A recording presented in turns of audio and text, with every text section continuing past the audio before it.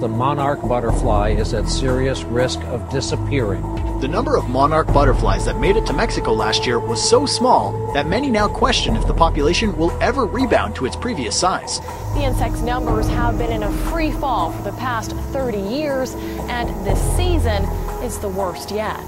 Two big reasons cited their primary food source, the milkweed, has been disappearing, along with what logging has done to their forest habitat.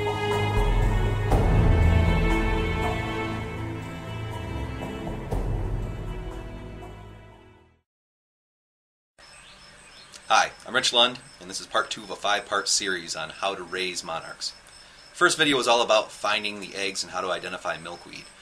If we left off there, you just found an egg, and now you do have some work to do. The egg that you found, you took the leaf from it, and that leaf is going to dry out before that egg hatches. With monarch eggs, usually anywhere from three to six days, depending upon temperature, those eggs are going to hatch. And maybe you found the egg the day before it's going to hatch, but maybe you found it one hour after the mother left it there. So there's a good chance that your leaf is going to dry out, and when that new caterpillar comes out, if it comes out onto a dry leaf, that's not going to be good food for it. So something that you have to do, and what this video is going to teach you about, is how to actually hatch the eggs and provide them some good fresh food for when they come out. So we're going to cut the egg out of the leaf in a small portion of it so that way we can place it on a fresh leaf right before it hatches. The tools you're going to need for this are a small pair of scissors and some type of tweezers also is very helpful and also a small dish. So let's get started. Okay, be extremely careful when you do this. Take your time. You want to cut a piece of the leaf around the egg that's small. It needs to be small because as that piece starts to dry, it's going to curl and it it's too large, it could curl all the way around the egg. Another reason why you want it small is because when that new hatchling comes out, if the piece of leaf is too large, it's just going to stay on that piece of leaf. It'll be totally unaware that there's fresh leaf right underneath it. But you don't want to have it so small that you risk cutting too close to the egg to where you could potentially damage the egg. That's why I'm also using the tweezers here. If you've got big dumb fingers like I do, you definitely want the tweezers to help you out with this job. So one more snip and we've got our piece. Yeah, I guess you don't have to be as small as that. You could be a little bit larger, but I like to try to get about that size. Once you have it cut, you can place it with any others that you also have, and I'll put it on some type of dish. This here is just a potting dish, but you could use any type of saucer. And you can put multiple eggs nearby each other.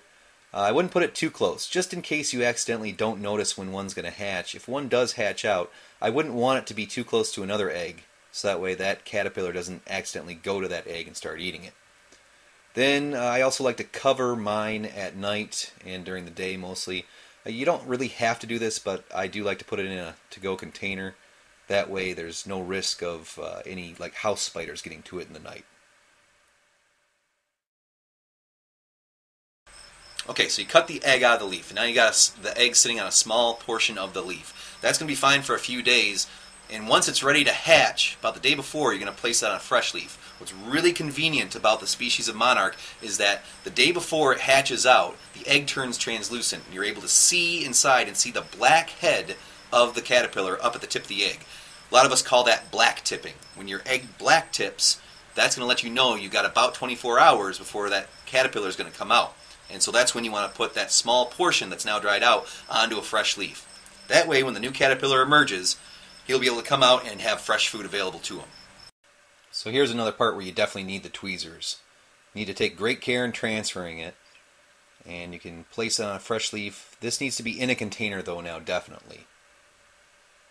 You can see the very black tip, that's just the little guy's head, able to be seen through the translucent egg. The fresh leaf that you put your black tipped egg onto should be something that you just picked that day and something that I found really helps to keep that leaf fresh as long as possible is to wrap the stem in a small piece of moist paper towel to retain the moisture. So just take the stem and wrap it up in the paper towel. That'll keep the moisture in, keep the leaf fresher for about two to three days. You may have noticed that I'll put more than one black-tipped egg on the same leaf. And if you have them, that's fine to do. Just don't put them right next door to each other. If they're too close, then when one hatches, it could crawl over to the unhatched egg and begin to eat that. The eggshell is very nutritious for them, it gives them a good source of protein. In fact, they have to chew through it and eat portions of it in order to emerge out. And if you look closely, you can see two little chew holes already on this egg. This guy's about to hatch. Let's go ahead and name him Les.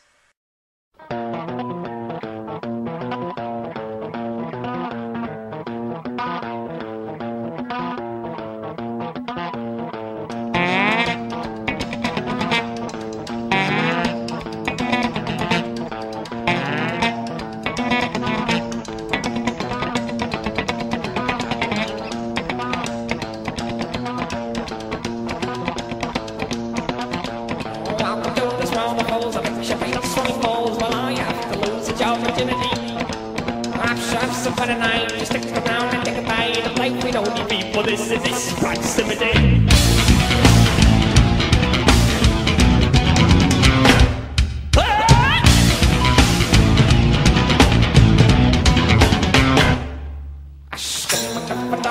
So many good ideas. Sling my of the line. But if I had my way tonight, the chances are I think I might have turned the sour wine to grapes of wine, grapes wine.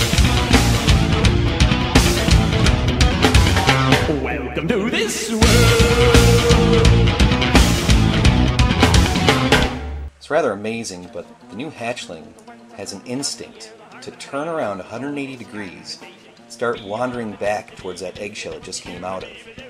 See, that eggshell is going to be its first meal, give it some very well needed protein at this stage of development.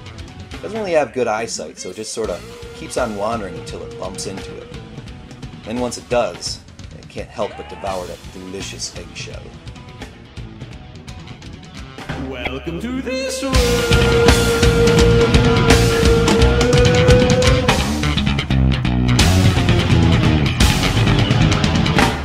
Wasn't that little guy cute?